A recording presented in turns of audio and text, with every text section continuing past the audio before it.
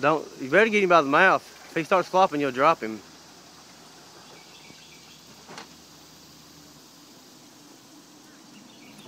Golly, what a big old flathead.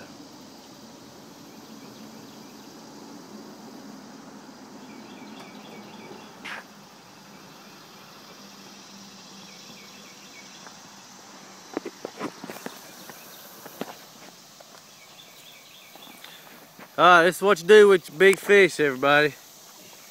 Live release them back into the river.